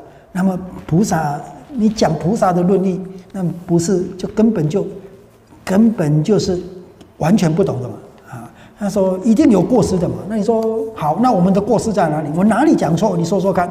好，他就讲如上言啊，上面就是一百零六页这边讲的，一百零六页，我们来再看一下他前面讲的啊，一百零六页有没有啊？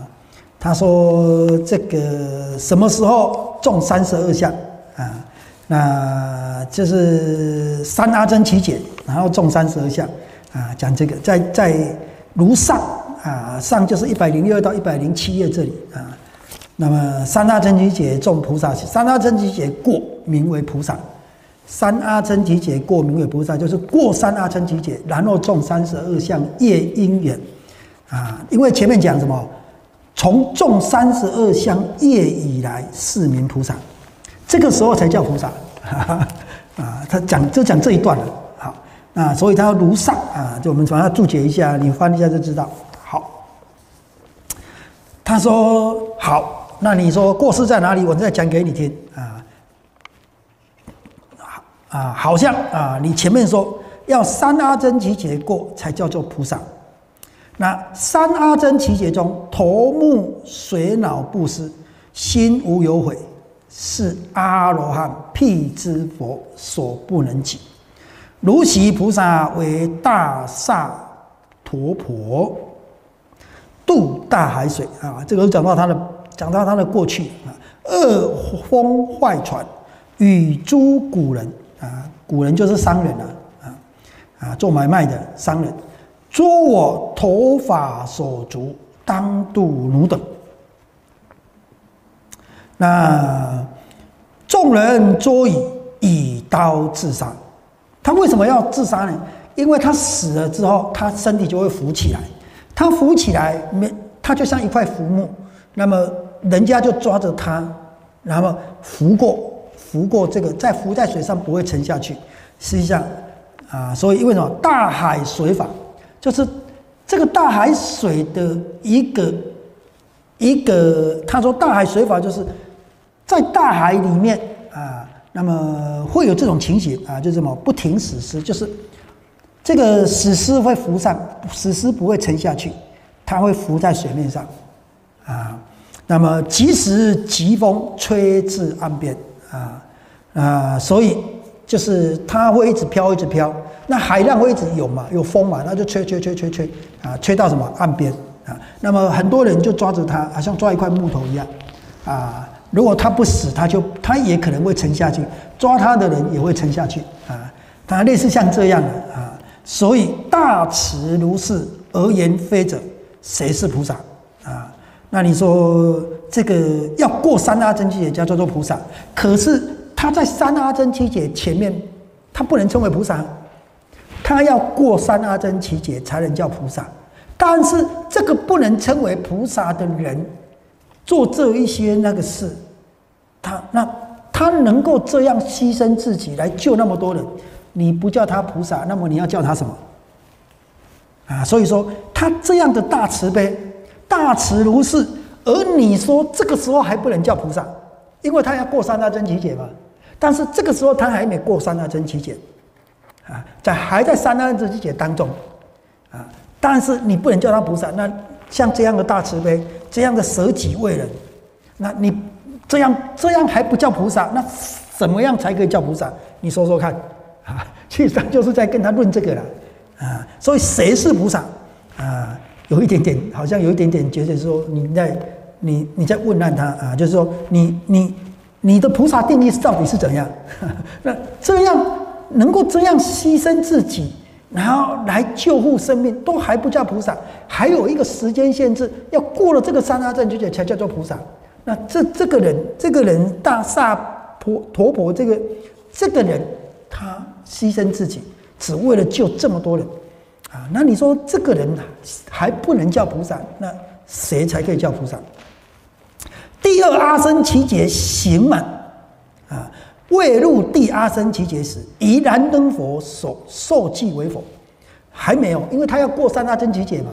那现在还没过，还没过啊！他已经第二阿僧祇劫了，要进入第三阿僧祇劫。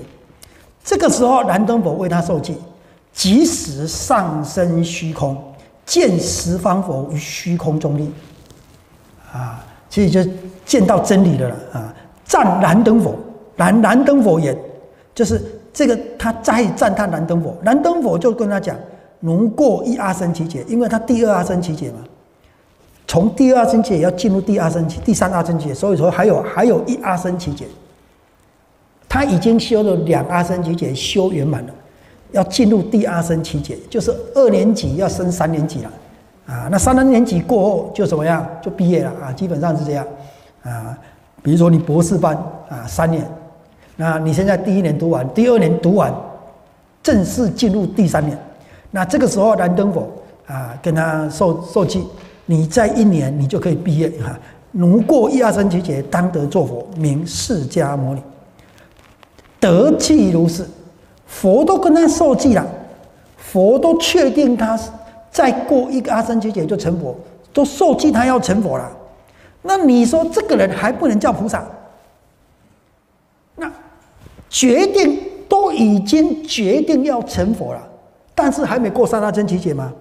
你这个人都还不能叫菩萨，那你这样不是有过失吗？你说那我错在哪里？你讲讲看。好，我就开始跟你讲啊。他第一个啊，那么他有这种心都不能叫菩萨，那什么人才可以叫菩萨？佛都跟他受记，他决定会成佛了，都还不能叫菩萨。那谁可以叫菩萨？那你这样讲不是有过失吗？啊，就讲这些道理啊，听起来也是有道理啊。好，那么再来讲啊，那么家瞻言啊，你说好，因为他讲说那好，那你前面啊，前面那些都是部派的菩萨观嘛。那你说我的过失在哪里？哈，我一个一个讲给你听啊。第一个，你要以三过三大真谛叫叫做菩萨，这个是错误的。啊，过三大正经节，三大正经节以前不叫菩萨，啊，那这个这个怎么怎么说得通呢？啊，所以他前面举了两个嘛，啊，那么都这样修了还不能叫菩萨，佛都跟他受记了，都还不能叫菩萨，那你这样不是有错误吗？好，那么家瞻言女子弟子辈言，三阿僧祇劫中未有佛像。啊，还没有佛的那个象特征啊，象征还没有，还还没有，亦无有种佛像因缘，因为你种三十二相是在哪里种的？三阿僧祇劫过后，再过百劫才种三十二相啊，就是在一百一百零六页这里啊，什么时候种三十二相？三十二相就是佛像，三十二相是佛的相号啊，那要什么时候种呢？要过三阿僧祇劫，然后在百劫里面说修相好，这个是部派的菩萨观。他说好，那你说这个在三阿僧祇劫中都没有种佛的相好。佛像，佛的相啊，象征啊，这些有这些特征，就表示你是佛啊。那么，就是佛都有这些特征啊，但有这些特征不表示你一定是佛，因为转轮圣王也有三十二相啊，转轮圣王也有三十二相，但是佛也有三十二相啊，就是种三十二相的因缘啊。他说，在三安之七劫中，因为要过三安七劫才有嘛，部派的概念是要过三阿僧祇劫才有种。三十二相的的这个因缘啊，所以在三阿僧祇劫以前是没有的啊，所以没有种种佛像因缘。那么哪里知道他是菩萨啊？一切法先有相，然后可知其实。若无相，则不知啊。所以前面，因为前面他说这种人他的心都这样，你还不能叫他菩萨。三阿僧第二阿僧祇劫，第二阿僧祇劫满。燃灯佛就跟他受记了，决定要做佛了，还不能叫菩萨啊？那这样不是有过失吗？啊？然后加瞻这个他们的部派的学者啊，就回答他们说：那么你要有三十二相好的因缘，三十二相，三十二种相好，三十二相才是要做佛嘛？佛才有三十二相嘛？那三十二相都没有，他都没有三十二相，他怎么可以叫做菩萨？那么菩萨是要。要来成佛之前的才叫菩萨，那他现在都还没有三十二相，他怎么可以叫做？哪里知道他是菩萨啊？他这样回了啊，所以要先有那个相，然后可知道其实啊，就是要先有具足那个相，才知道它的内涵嘛啊。那么我没有相，哪里知道啊？人有人相啊，猫有猫相，水有水相，火有火相。啊，你有这个火相，知道这个火是热的；你有这个水相，知道这个水是湿的；啊，你有这个地象，知道这个地是坚硬的；你有这个人象，知道他是人；这个狗象，知道他是狗。要先有那个象嘛。好，那摩诃人言人言啊，这个大圣的啊，他他举这些就是回答他的人啊，他说：云何所受记大象而取三十二相？他说，就是说。部派的学者认为，是不是菩萨以三十二相论？以有没有三十二相论？是不是菩萨？那三十二相在三大阿僧祇劫后才会有，三大阿僧祇劫过后修圆满，那么百劫才众相好。所以，是不是菩萨要过三大阿僧祇劫，开始有相好的时候才能论？那没有那个相好，就不能说是菩萨。那么大圣的说。啊，摩耶人说：“那么是不是菩萨？你不用，你不用受记的相、慈心的相来论，而用有没有三十二相来论？哈，所以他说：你怎么会舍受记的大相？而就燃灯佛，燃灯佛跟他受记，受记为佛上升虚空见十方佛，就是前面啊，前面第二阿僧祇劫满的时候，燃灯佛跟他受记。”他上升虚空见十方佛，那么这个这个是大相啊，那没有在三十二相里面，但是这种相超过三十二相，这种相甚至比三十二相一般的三十二相还要可以成为菩萨相。为什么转轮圣王也有三十二相啊？但转轮圣王不一定是菩萨。啊。转轮圣王也有三十二相，但转轮圣王不一定决定成佛，因为我们的概念就是说，菩萨的概念是将要成佛或有心要成佛的啊。我们再写一下，因为他这个逻辑性是对的啊，所以他要从那个真实意去讲。比如说部派里面，部派部派里面认为啊，以有无三十二相来论是不是菩萨？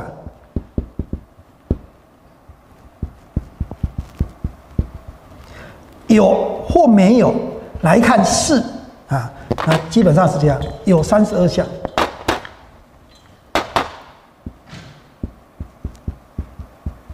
无三十二相。来讲，这个不是菩萨，还不能称为菩萨。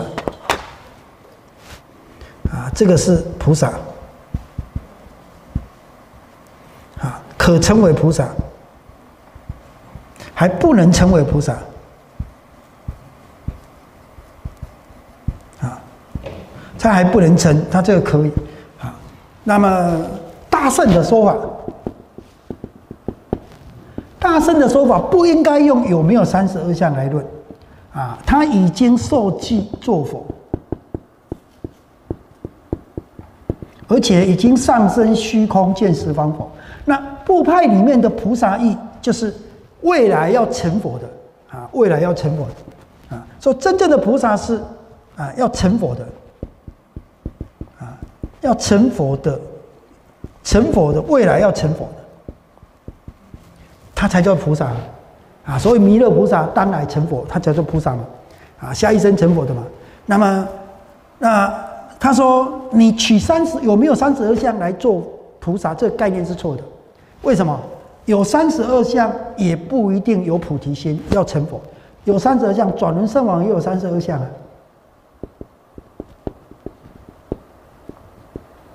转轮圣王也有三十二相，但转轮圣王有没有决定成佛？没有。转轮圣王也没有决定成佛啊。转轮圣王也不决定成佛。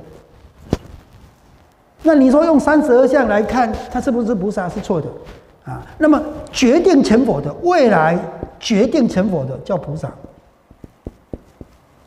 那么你的决定是他有三十二相，因为三阿僧祇劫之后种相好吗？过百劫种相好吗？但是他在二阿僧祇劫的时候已经得受记，佛受记做佛就决定会做佛，他都已经决定要做佛了。那你说他还不能成？因为只是因为他过二阿僧祇劫而已，还没满三阿僧祇劫，那这样是错误的。他都受记做佛，这个是这个是做佛的大象，成佛的大象，决定要成佛，受记做佛就是决定要成佛的相。那你这个相不取，你去取这个相，这个相转轮圣王也有三十二相啊，他也不决定做佛啊。所以你这样你这样的说法是错的。啊，那这个这个其实这样逻辑是对的啊，就是说，就是说，你看他他跟他的一个论辩了啊，所以舍此大象得作佛，这个才是真正决定，因为菩萨意本来就是决定做佛，叫做菩萨嘛。啊，你你你释迦菩萨决定要做佛，所以叫做释迦菩萨嘛。你弥勒菩萨决定要做佛，叫做弥勒菩萨嘛。那他都已经决定要做佛了。你不取这个决定做佛的受尽相，你去取那个佛具有的三十二相，那那这样讲转轮圣王他也不决定做佛啊，所以他底下就讲啊啊，那么三十二相转轮圣王也有啊，诸天魔王一人化作此相啊，他可以变化成佛啊，转轮圣王有三十二相，但他不决定做佛，那么这个天天神魔王他也可以。它可以变化成像佛的三十二相，所以亦能化作此相。虽然他自己没有，但是他变化，他也可以变化做三十二相啊。所以他会给你有这种错觉啊，你会觉得说，哎，你见到的是佛，其实不是。难陀、提婆达多皆有三十相，那么据说阿难也有三十相啊。提婆达多有没有三十相？这个可能有不同的说法啊。那他底下有注解啊，他说底下卷十四啊也有啊，那就是说那这样来讲啊，那阿难阿难据说也有三十相，那难陀有三十相是这个是很多地方讲的。好，那么拔婆利婆罗门有三相，啊眉间白毫相、舌腹面相、阴长相啊，他也有马阴长相啊。那么摩诃迦叶的。泰坦啊，金色比丘尼有金色相，就皮肤是金色相的啊，就是他大家色的啊，大家色的这个这个以前结婚的太太，她本身有金色相，乃至今世的人一个个有一相二相。若青眼，若长臂，上身如是等种种，或多或少，如何以重此相？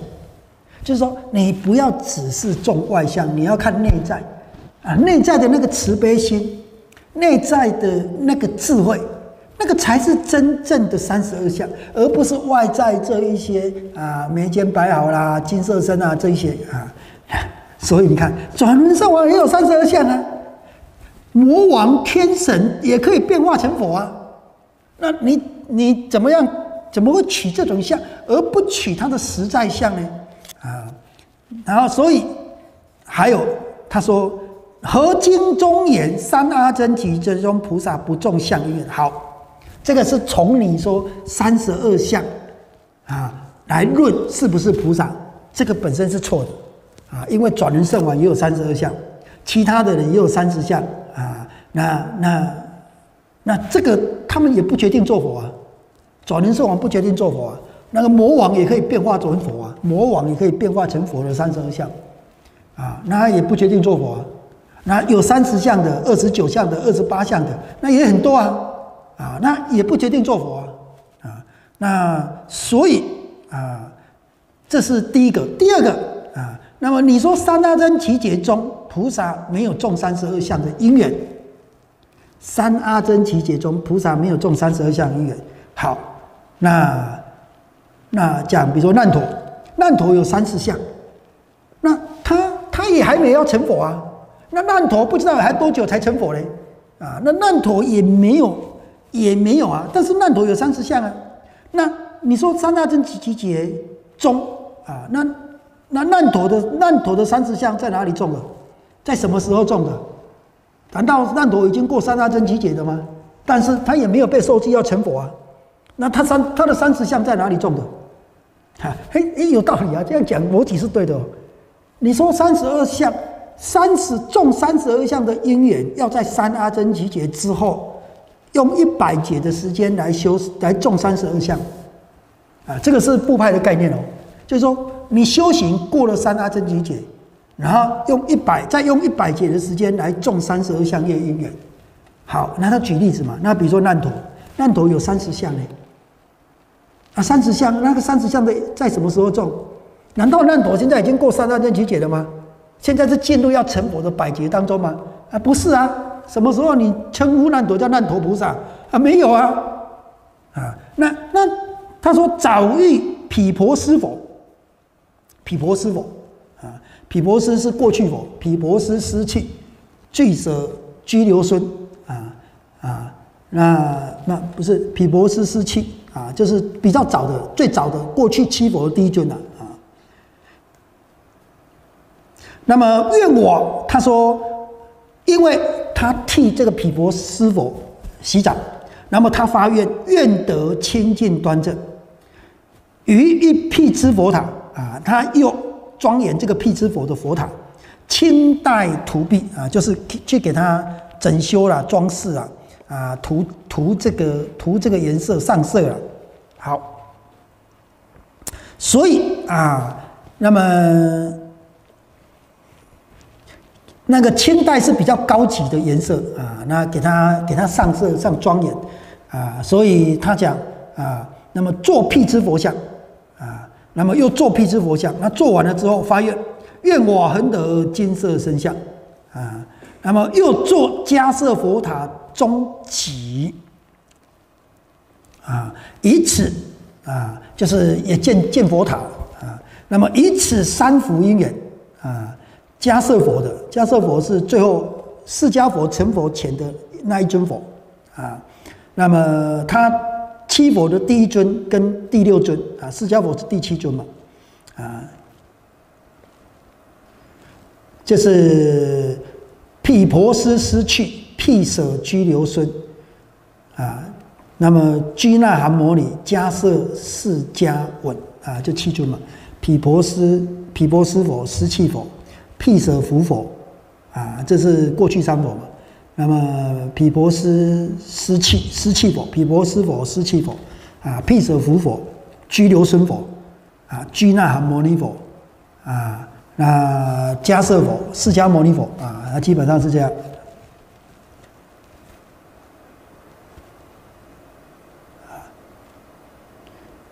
居留孙佛啊，那么基本上第一尊佛是毗婆尸佛，然后最后一尊佛是迦舍佛，那么他都有修道，然后中间还有还有啊这个辟支佛的啊，那么所以以这三福的因缘，世世受乐，处处所生，成德端严，是福之余生迦毗罗卫，迦毗罗婆就是迦毗罗卫了啊，四种啊四家族里面啊，因为难陀是跟。难陀跟这个佛陀，难陀跟佛陀悉达多，他是同父异母，都是净饭王的儿子，啊，他们的父亲都是净饭王，但母亲是姐妹，啊，就摩耶跟大爱道，啊，摩诃婆舍婆提，啊，跟摩诃摩耶，啊，啊，大爱道跟大幻化，啊，大幻化其实就是摩耶夫人，那两个是姐妹，同时嫁给，同时嫁给这个波斯尼，对吧？同时嫁给净饭王。啊，那摩耶夫人生了一个孩子啊，这个就悉达多，然后就往生了，升到天上去了。啊，那大爱道生了也生了一个而已，叫难陀。啊，好，那所以生在迦毗罗婆啊，其实迦毗罗卫啊，四种中四家族中为佛弟子，得三十大人相。啊，大人就是佛了。啊，三十二相就是佛相。清净端正，出家得阿罗汉道。佛说五百弟子中，难陀比丘端正第一。此相易得，因而言以九十一大劫中众，于一生中得啊，是为大师。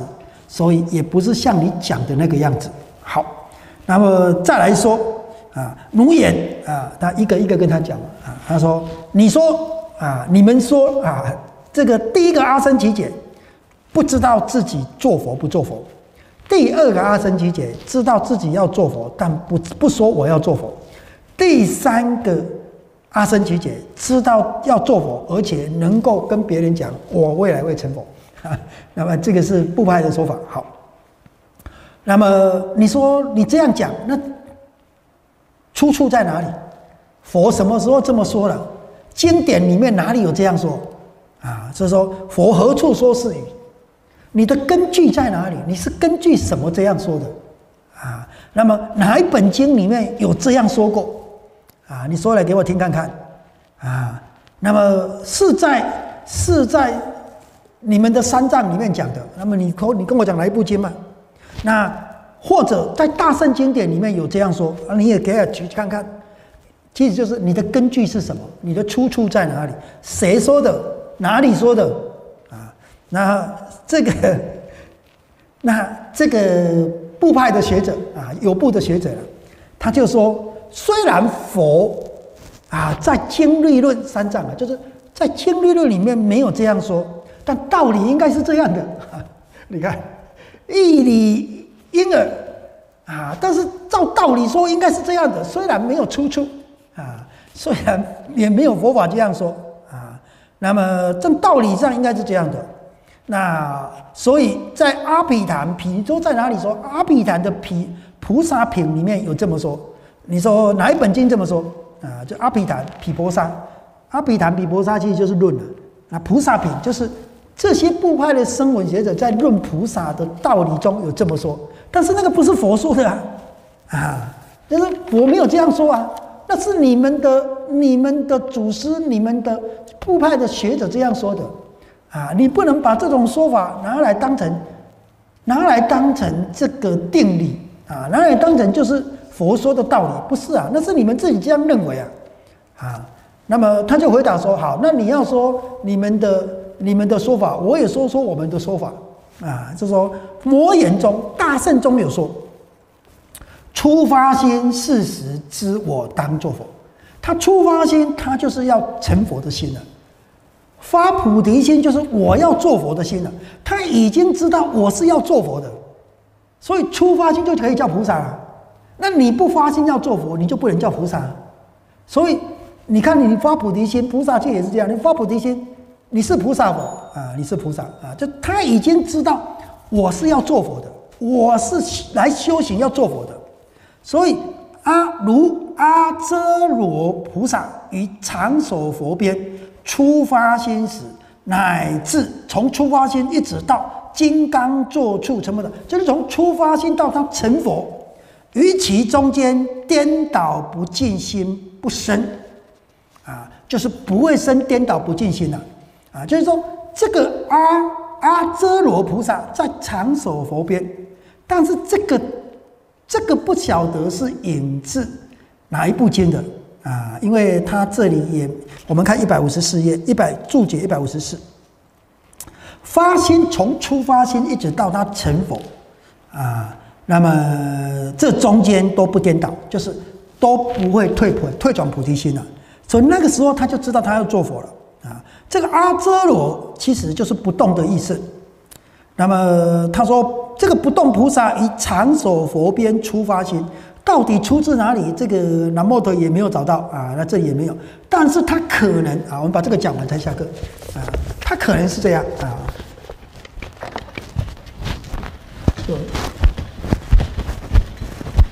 因为它是不动佛嘛，不动佛基本上是阿处佛，阿处佛也叫不动佛啊。那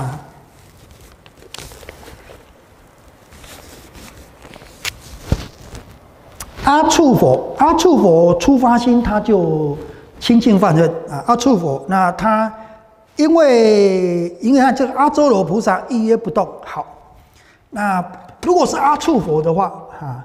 那么颠倒不尽心不生，那么基本上是四个，有可能是好。我们先把这个讲，它基本上是在大宝积经里面啊，大宝积经，大宝积经是很多大圣经的结结集合啊。那大宝积经的有一个叫做不动如来。不动如来会受记庄严品，啊，大宝积经不动如来会，不动如来就是阿处佛，啊，这一会，啊，它其实很多经集合在一起的，啊，然后其中不动如来经就阿处佛经，啊，基本上是这样，不动如来会，那么受记庄严品。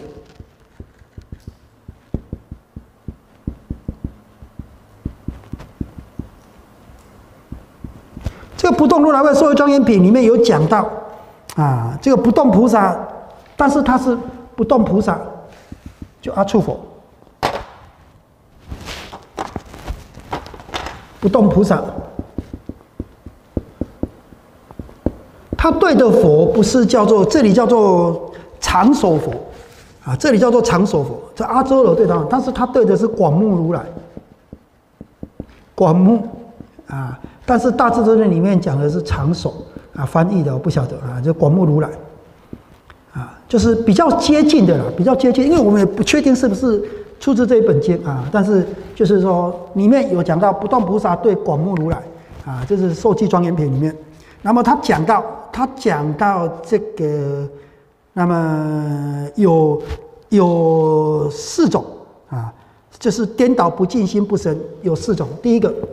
他说：“不于众生起嗔恨心，不动如来有，就是阿处佛有两个特点，一个就是他从来不起嗔恨心，所以他无害啊，就是内心嗔恨不不不起嗔恨心，从来不起嗔恨心。第二个，他出发心就修犯恨啊，他不没有有些佛没有，有些佛有结婚的。啊，有生小孩，他没有，他从出发心就修犯恨啊，类似像这样。”啊，就好像弥勒菩萨不食肉。啊，出发心就不食肉。啊，那不是有一些他也有也有食肉的没有啊？那么这个是不一样。好，他说不于众生起嗔恨心，众生起就是他从出发心就这样，无嗔恨啊，这个是也是阿处佛的一个特点，不不动，不起爱欲嗔痴心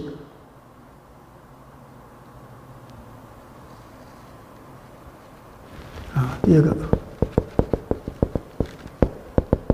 啊，也不起贪婪也不会因为贪爱不足而起嗔恨。贪嗔啊，就是没有贪嗔痴啊，没有这个心啊。第三个，起杀盗淫妄邪见。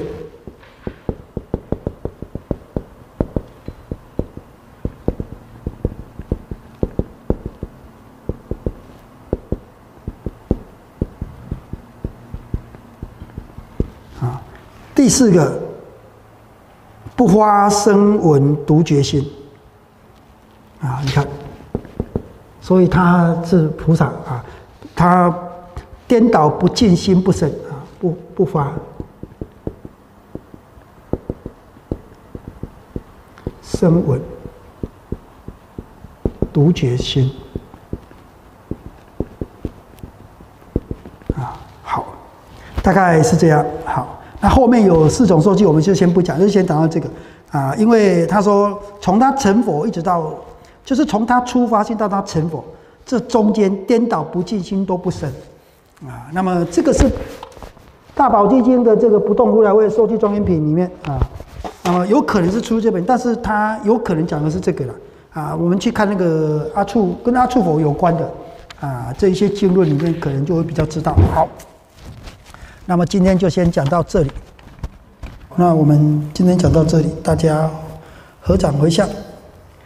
愿以此功德，普及于一切，我等与众生，皆共成佛道。